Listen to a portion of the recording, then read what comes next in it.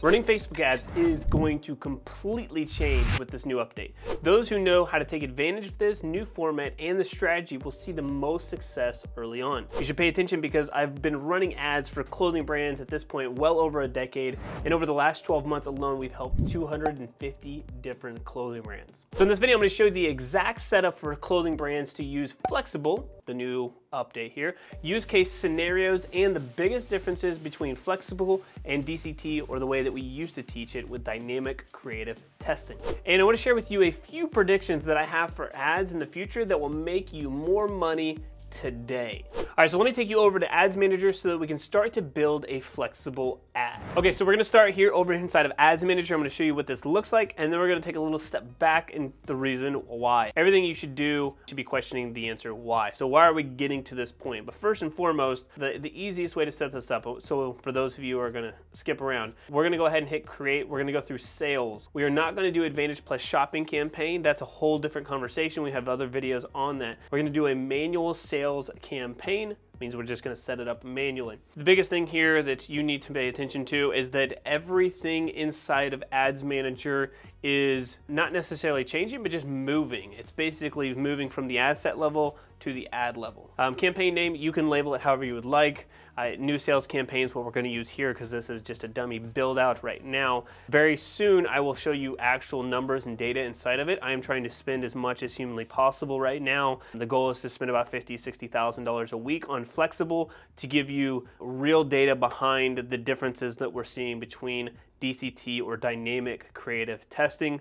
Um, and that will all make sense here just here in a second. Campaign, nothing's really going to change. We're going to keep it the daily budget. Choose what you'd like. We, we, like starting out for, for brands, you know, anywhere between 50 to 100, scaling them up after that. Nothing's really going to change there. The ad set level just kind of looks different format. This is basically your targeting. Again, nothing's really going to change here. Before, you used to turn on dynamic creative. I mean, you can read that, but basically this is going to go away. So I'm gonna go ahead and turn this off. And then I wanna go to website. Website and shop has not worked the best for us. Uh, that does not mean my answer will not change in the future, so please don't hold me to it. It just uh, what's working right now. I'm trying to give you the most up-to-date information of what's happening today. So we're gonna use website, maximize conversions. We're gonna go for the purchase conversion here this is set up rather as like conversion API or what people call CAPI. And if you do not have that set up, I would absolutely make sure that you have that set up and you got the green check marks there. Otherwise, this is not going to work correctly for you. Your pixel needs to be set up. It's not what we're going to hit on in this video, but either way. So Dynamic Creative will be going away soon. Make sure to check it out. And then you can read more about platform here for Flexible, which we'll get into here in a second. That's what we're going to be building. That's why you're watching this video. So we're going to keep the audience the same placements. Okay, so this is using fewer than six placements may increase the cost. These are Advantage Plus placements. Basically, I haven't chosen any like content yet, so it hasn't decided where these placements are gonna go. Honestly, what we do a lot of times is we just get rid of the audience network. At this point, it doesn't really matter too much. It's We've been leaving it on, so I wouldn't really too much about that. Audience, we typically do, all right, so age, gender, location, this ad's be, being created in the United States. You can pick other countries. If you choose other countries, make sure to choose a different ad set because that is going to going to be a little bit different. Probably do a whole different campaign and a different test because country is going to look a little bit different. Now you have the original audience options. This is use the original, use Advantage Plus audience. Basically, is going to find the right audience for you. It's going to go after some new, some existing, and some warm-ish audience that may have heard of your brand but not as hot. Right now we're using Advantage Plus audience. I would leave it on. The only difference here, we're not really touching anything at all your attribution window is going to still stay the same. It's still going to be seven day click, one day view, which means it gives Facebook the most amount of data uh, to go after. So here's the biggest difference. When you go to the ad level, you are going to see an option format. You can go ahead and choose flexible. Okay, you'd hit flexible. You put in your website URL for this. We'll just go to Bit Branding, just our company name, but you can obviously, and you should put your actual website, but it doesn't really matter here. I'm gonna grab some media, some images here, and we're gonna build everything the exact same as what we would as a DCT. We're gonna choose three images that are going after the same type of audience. Now, the three pieces of creative, just so to give some context here, right? They should be the same level of awareness, same level of audience, same level of content. So if they are, let's say for example, if there are two videos in one image, I wouldn't do that because it's not a true test because I want three images very similar that are slightly different so you can actually test them in between.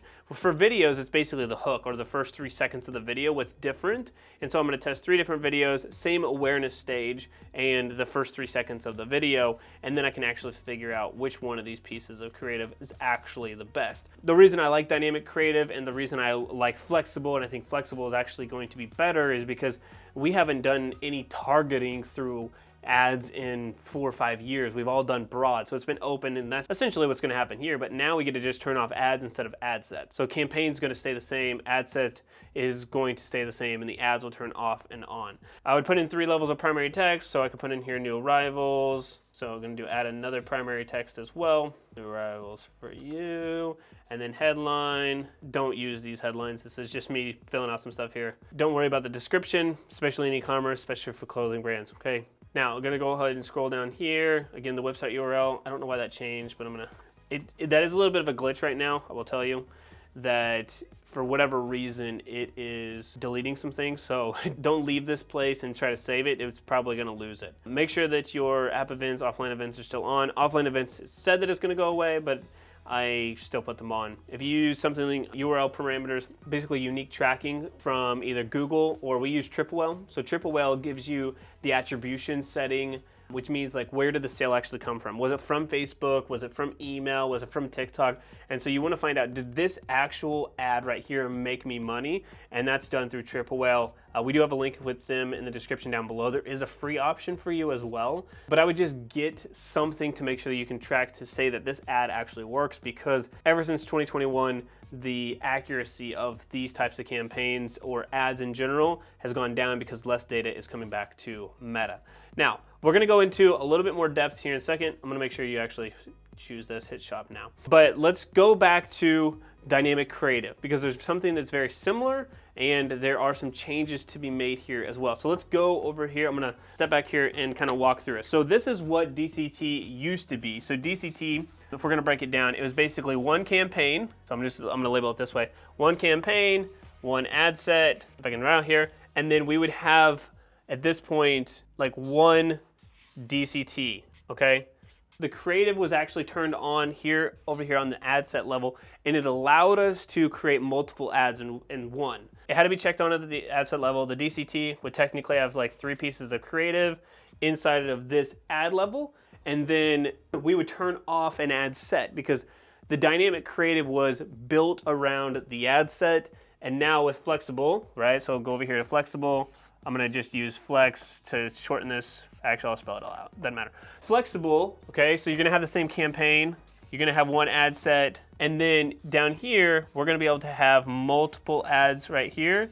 And we don't have to turn off the ad set. We can keep these two things right here the same, and then we can turn off the ads. So this is an image, this is an image, this is an image, but you can have, we would suggest up to three of them in each one of, of these.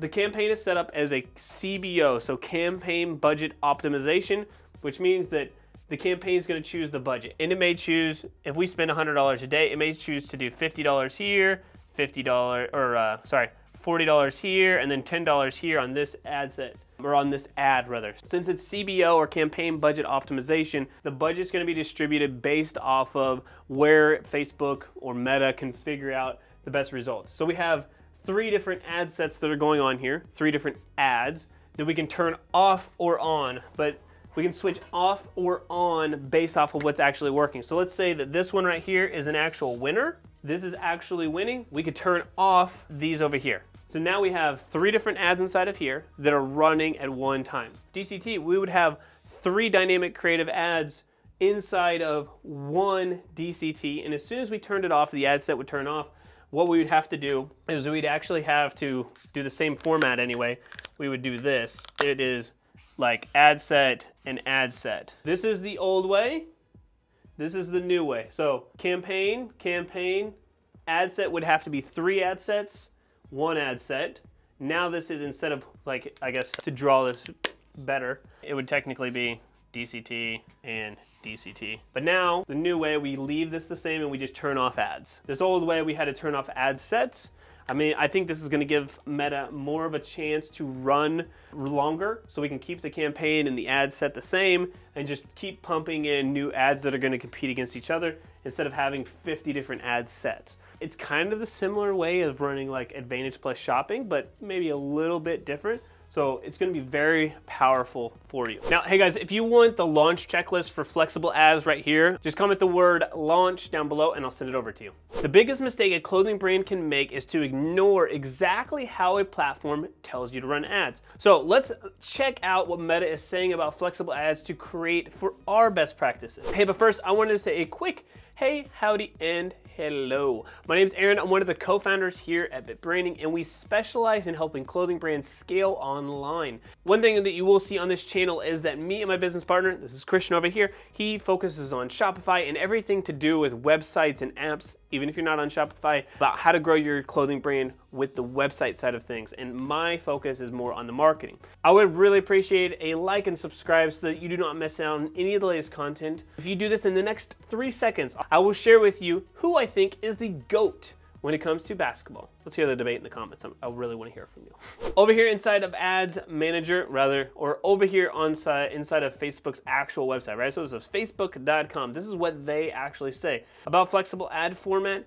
Essentially, the benefits of using flexible from what they see automatic optimization. Basically, us humans keep screwing up ads. They're to try to make it easier for us. We can also do ad creation with less effort. What do they mean here? You don't need to select different ad formats or different ad placements. It's all to be done for you. More customization. You can group certain media, such as images and videos, with different combinations of text. I don't know if I want to do that yet but that's what they suggest. And I'm to listen to a lot. Of, I'm going to do a test, like I mentioned earlier in the video. I'm to spend a lot of money, or at least in my opinion, there's a lot of money to test this out, and we'll see what works. Can we put images and videos together? Maybe it's the same level of awareness for a brand, but one's an image and a video, and we can run them side by side and see which one works. I'm, I'm a fan of testing. I think that's for marketing you just have to do. Now let's go over here to what Ads Manager is saying about flexible.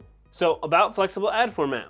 It tells you the benefits and it's telling you the exact same thing. The flexible ad format is designed to help you automatically optimize your ad format to show people what we predict they're most likely to respond to based on the specific placements and audience. When you select flexible as your ad format, you can select up to 10 images and videos. So essentially it's saying we have a pretty good idea of where people convert at, whether it's Instagram mobile or if it's a Facebook ad on desktop, we have an idea of where people are going to purchase and we're going to show it to that person at that placement, and we're gonna take pick your best creative, which is what DCT was doing previously. That's what it was doing before. But now we're just saying like, look, don't worry about the ad set and turning it off and on. Just test ads. Give us great creative.